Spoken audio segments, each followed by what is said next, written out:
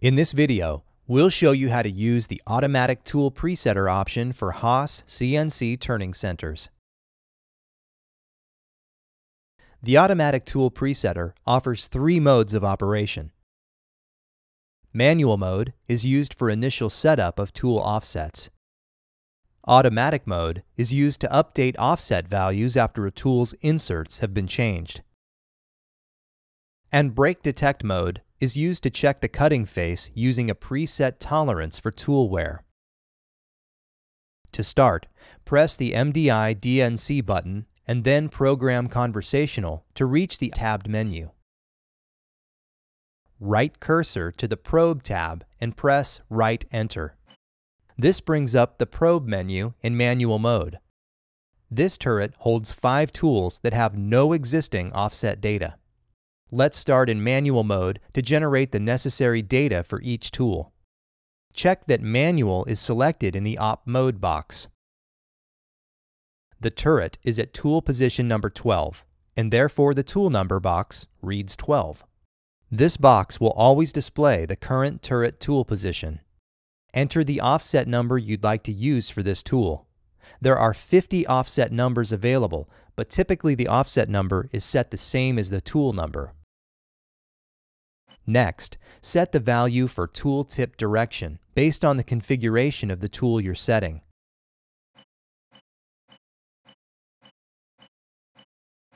In this case, we are checking a turning insert with its tip in the number 2 direction. We can't enter a value in the tolerance box since we only use that in break detect mode. With the turret a safe distance away, move the probe arm into position by pressing F1. With the data entered for tool number 12, you're ready to check the tool position. Handle jog the tool in Z and X until it is approximately a quarter inch diagonally away from the edge of the probe, similar to the image displayed in the tool tip direction graphic. If the operator door is open, you will need to hold down Cycle Start to continue with the touch-off cycle or with the door closed, press Cycle Start. The tooltip will touch off in the Z and X directions and record the offsets. Note that a G-code program is generated in MDI, which is used for the tool movement.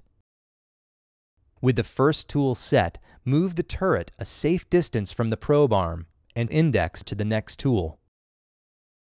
Continue on to set the remaining offsets.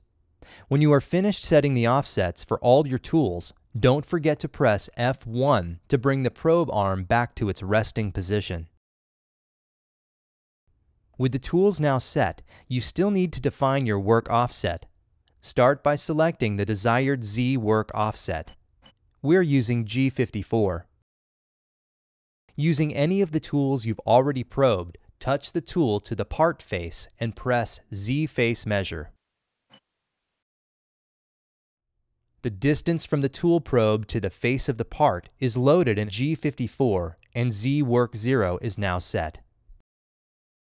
Once a tool offset has been set in manual mode, you can update the tool tip position at any time an insert is changed out. Here's how. Access the probe menu and select Automatic from the OP mode box. Arrow down to select the tool number you want to check. With the tool number and offset selected, press Cycle Start.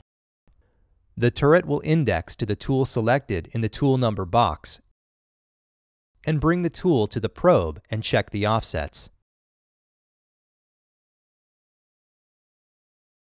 Repeat this automatic sequence for each tool that needs to be updated. Break Detect mode allows you to measure the difference between the initial probe reading for a particular tool insert and subsequent readings after wear or damage may have occurred. The tolerance setting in this mode establishes the allowable wear on a given cutting edge. Select Op Mode Break Detect and the tool number and offset number you used. Now select a tolerance for wear on this particular insert. In this example, we've set this value to 0.004 inches. When the operator presses cycle start, the turret will index to the tool we have entered in the tool number box, and the turret will move to the probe and check the insert. If the insert is not within the tolerance set earlier, an alarm will announce that you have a cutting edge that is no longer within specification. When you run break detect mode, a program is generated in MDI. If you paste this into a part program in memory, you will have added that particular break detect routine to your program so that critical tools are measured before they are used. The break detect routine is automatically generated in the upper left side of the MDI screen and is ready to be pasted into a part program. To insert this subroutine into a part program, start by pressing F4. Choose number 1, select Create Program. Find the program you want to modify. Now simply scroll to the area of the G-code where you want to insert the subroutine and press Write Enter.